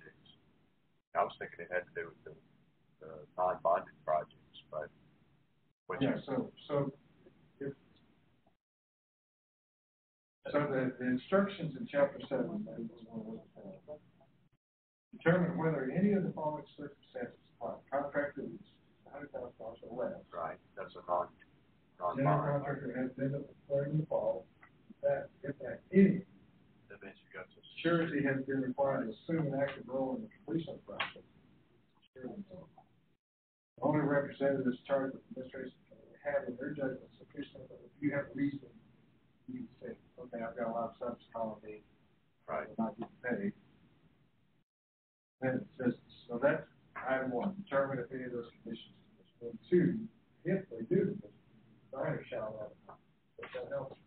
Yeah, is this statute? Do they, and if it is, it, where's it stipulate the ad? Because, because uh, those legal notices are not cheap, and No. the hundred thousand dollar or less, that's a lot of, that's a lot of advertising. Right. So it becomes, it becomes onerous, especially the hundred thousand dollars. Under hundred thousand dollars. All right. Is there any way of us being able to be Well, like a legal, no, it's a contract, it's hundred thousand or less, and the contract therefore has no shield. Right. listed. So But do you that's, a lot that's a of lot of those projects, that's a lot of projects. Okay. I don't see any way around it, I can, I can find the reference. to it. Well, I mean, if we can advertise on purchasing's website or our website, OSA's website, rather like a than, legal notice. rather than a legal notice. Hmm. We'll see if we can find the statute. Yeah, maybe the contractors and the subs would need to kind of go into our website looking for that instead of going to a newspaper. Well, No, that's it depends on what the the statute newspaper. says. Yeah, yeah. Newspaper of record, yeah, the county, right, that's it. I, I'm not sure what the statute says. So, We'll, res- we'll research statute. Yeah. Okay.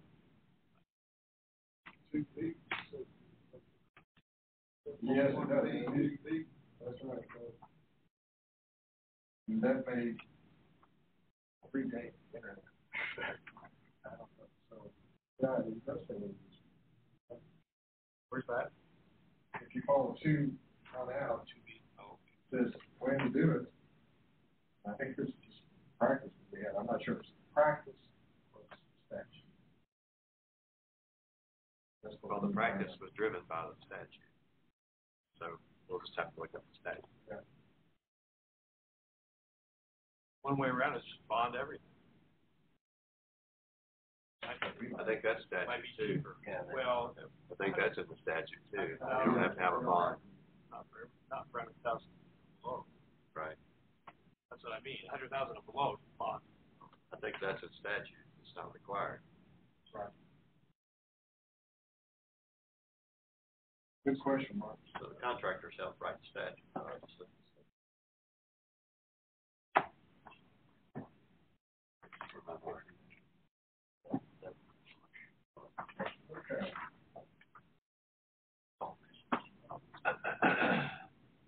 Bid form, very important document. Time looking at that, and like I said, I already showed you where I had to fix something on that.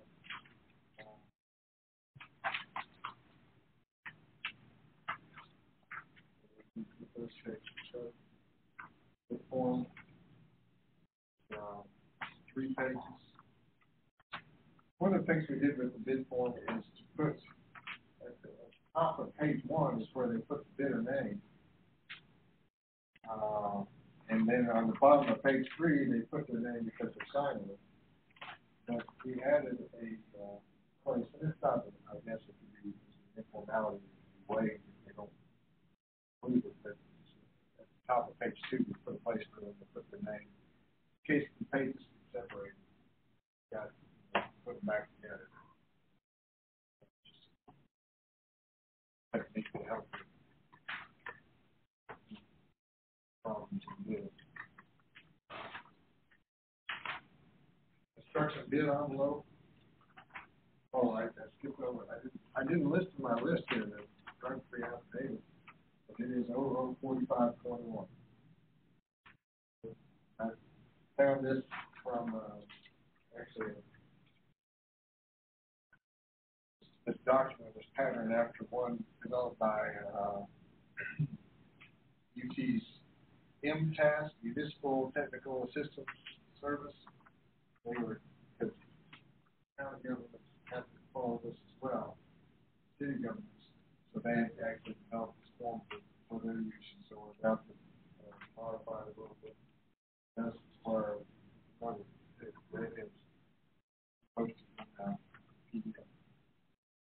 that's, Construction bid envelope. Shouldn't be any big surprises here. Tried to simplify a little bit the header, some of the header information in the box. And the box on the form. And the agreement. So the agreement has place to put your, uh, it says between, it says this is the agreement made as of this day and this year between the owner, says the state of Tennessee, via the contracting agency, it address, contractor name, and so on.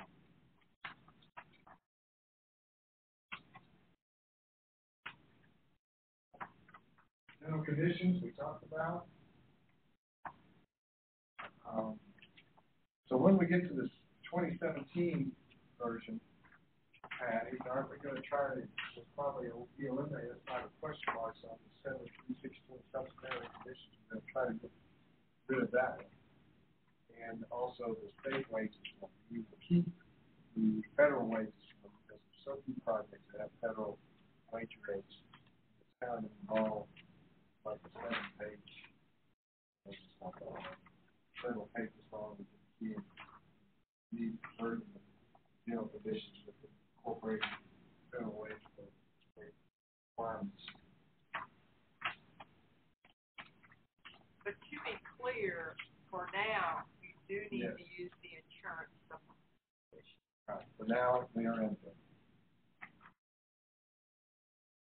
question mark, I guess I should flag some other way. Come out of there, and I guess that really is, sort of, it'll come out in twenty seventeen. Yes.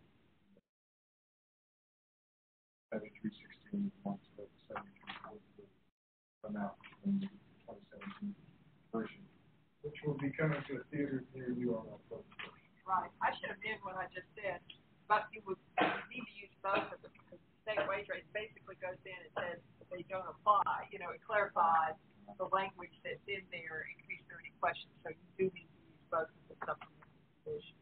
Sure. Would it be possible to, um, at the very end of this, we've got the owner owner information. Would it be possible to create owner supplementary conditions 7301 or 7301? consistency. That what what we what was accomplished for it. Well, because the uh, it modifies the general conditions for things that we that the campus would like to have. They, usually operational things. Um, usually we haven't been, uh, I don't think UT or TBR has been doing that there's specific campus thing, handle that with the instructions designer, the contract. Uh, They, they wouldn't change. They rarely, you know, it'd basically be, uh, things that, getting keys, um, access to site, that kind of thing. I guess it's a question of when, when you cross the line from contractual requirements to management requirements. There's, those, those are kind of blurry. They, they can be. I mean, but, one, one thing that's not blurry is the boss? The boss, the boss says, you, the owner. There is a section called temporary facilities and controls, uh, that may, that may serve you, Mark. Uh, let me come see if I can come it. Uh, At oh one fifty zero zero, I think it has the final latitude in it, and to, um, talks about. The owner boat and stuff, there. Right. You have vermin control, water and snow control.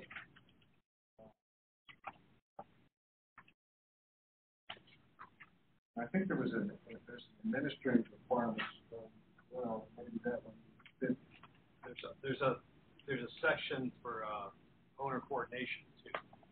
Not in here, but it exists. Yeah, uh, see, administrative laws. I, I didn't know the thinking. It's fine. There's, you know, there are Yeah. workarounds. Um, Right. That one, can't- I think we were still debating whether to include it, as far as administrative requirements. General requirements, temporary parking. Yeah, this one's, operational. there any reason why after the general conditions are modified or have been modified and marked up as they are, any reason why all of these supplementary conditions for all those different sections were not incorporated into the general conditions, so that would have to take out some of these extra supplementary conditions if they were all inclusive in the general conditions? That's where we're going, twenty seventeen. Okay.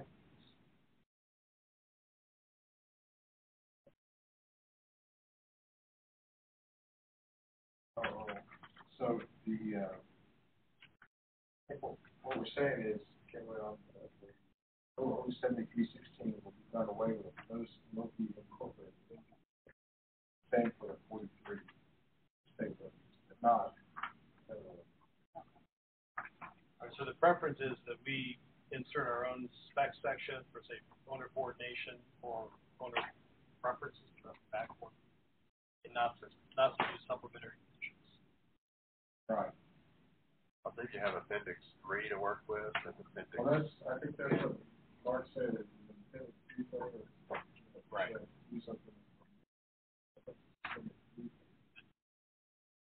Appendix three is the zero one. Right. Uh, Appendix three is, I don't have the. Whatever you, you don't have an appendix three, because you have to do. it. Oh, gotcha, all right. Okay.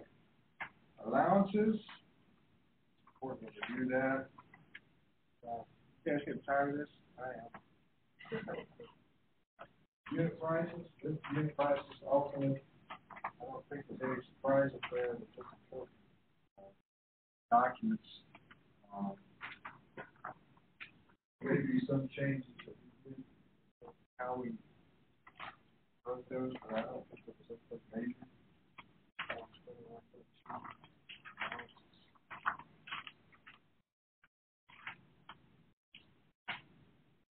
I grew up under, didn't like allowance, so we just tried to avoid it we could. Which would be a pain. The list of allowances, should highlight it, gives you complete latitude, it's a word filling form. I lift it up. List it out, same with the prices, the prices processes, twenty-two thirteen, and then the list of the prices. There is a table, I'll fill in the table, twenty-two fifteen. Tim, I can tell you, we don't like allowances, unit prices, or alternates. Or, all- or phases. Because, because the bidders get confused. If, the more complicated you make the, the bid form and the bid process, the, the more likely is, the more likely there are to be errors in, in the bidding. You know, what happens, but budget's tight, not sure you're gonna make it, time is tight, uh, and all those. I didn't say we didn't do it, I didn't say we But it does create a level of complexity for, for the bidders. They have to be really diligent in how they, they read the documents so that they get the bidding process right for those particular items. So this, this is important to be decided. Fill out carefully your review and approval. Contract modification procedures, very important. Supporting documentation, proposals of claims. Refers to the form for price summary, the form for price of work, and the form for price of time, which is also here, and they are strong documents. Uh, Map embedded with TBR generated documents. These are protected doc, protected Excel forms, so they can't mess with the parts, you can't, shouldn't mess with. You see any problems it's calculating or with the, how it's formatted, um, let us know. I've got the password, not, don't know TBR password, but I hope that's not. Okay, clearly, I can't have TBR password. Schedule of values, progress payment procedures. Schedule of values, uh, document says, uh, says, form of the schedule of shall be the AIA document D seven oh three configuration sheet. And it goes on to say how to create, how to use it.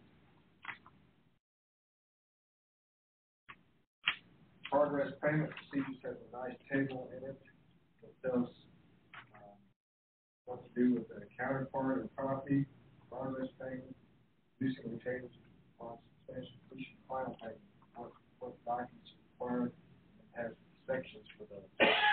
So, somebody at TBR did a nice job, put this together, this, for following, including, we're gonna put staples. uh, on the- on the form, for the payment procedures. Must have been somebody's pet peeve right there.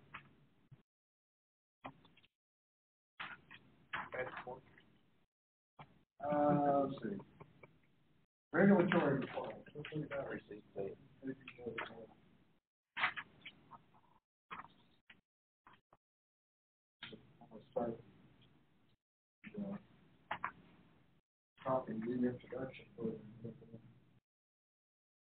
Okay, so we tried to, uh, restructure the basic, structure the basic regulatory requirements to, again, like, like in other areas, try to refer to the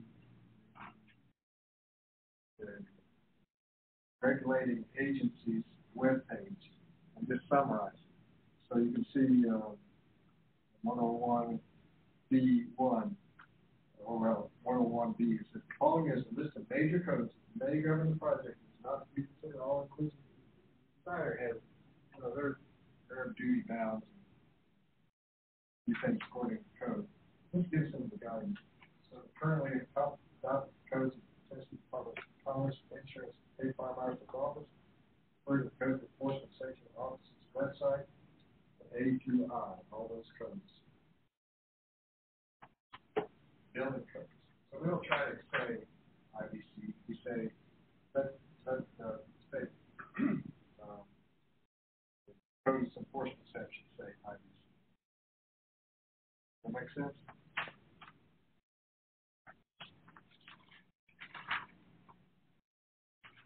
Closeout procedures, we talked about that in the, uh, chapter, instructions to the contractor, for the one, for one seventy-seven seven.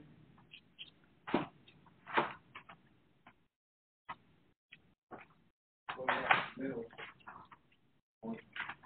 Looking at, uh, data binders, owning, and owning data binders, private data binders, special data binders.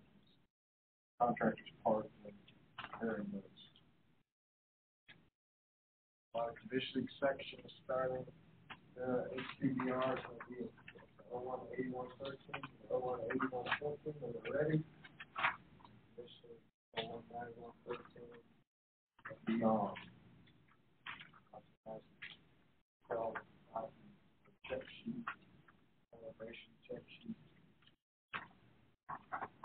So here's appendix three, we talked about before, which we put your campus design guidelines, um, SBC, food proprietary standards,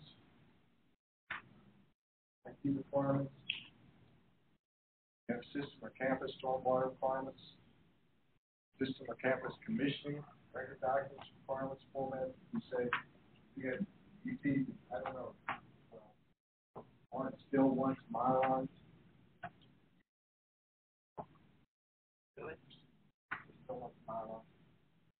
Uh, so that's where you would put that, if you want my line, that's fine.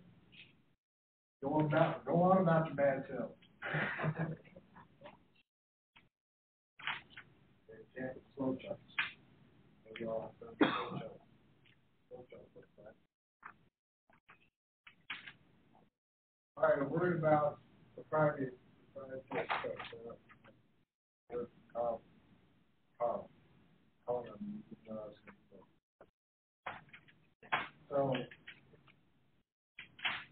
I, all I know is what's written. In general, campus specific specifications should be considered guidelines. The use by the designers to prepare specifications this documents. All prepared proprietary items must have approval by the OSF. In advance, committee. I've said,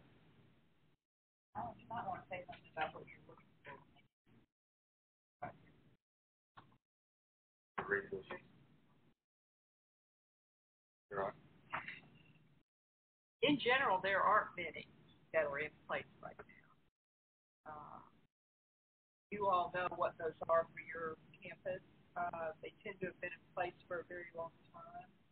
Uh, it's still a Yeah. subject that's come up recently. I, I know, I know some many years ago, Carl, you were, too, there were, there were established standards in campus with a, you know, critical, whether it's security systems or whatever.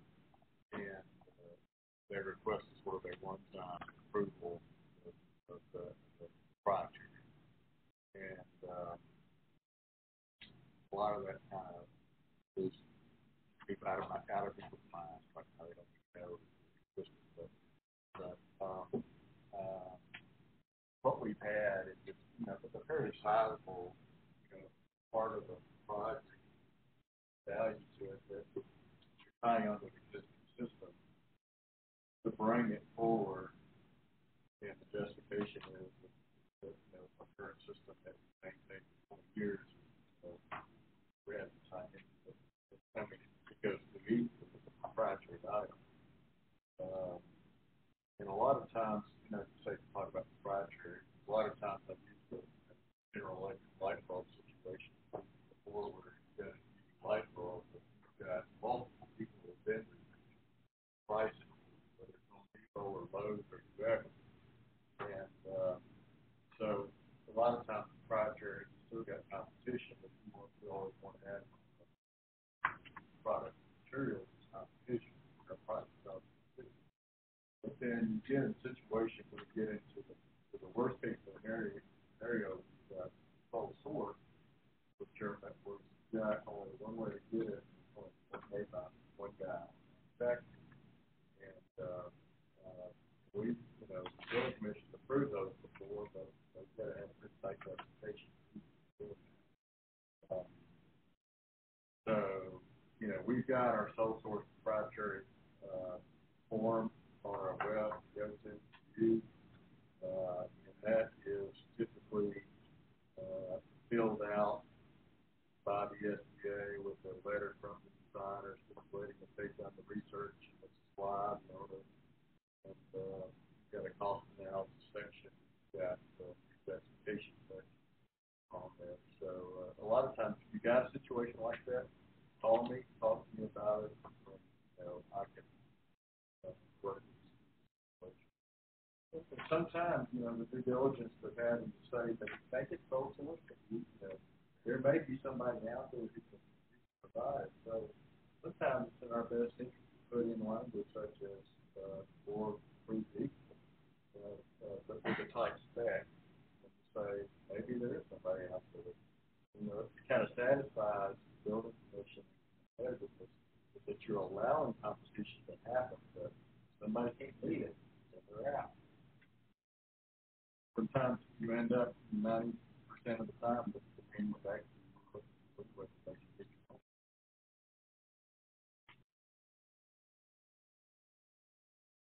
That's all I've got, that's, that's all my time, too. back one slide. Sure.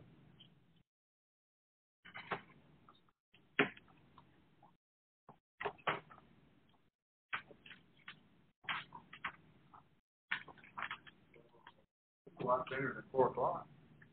I couldn't last you four. Y'all have been very patient, and, uh, attentive, and I'll be good grades, so. Certificate of completion will be at the door, it's still out. For CEUs, and Okay, okay. Uh, just.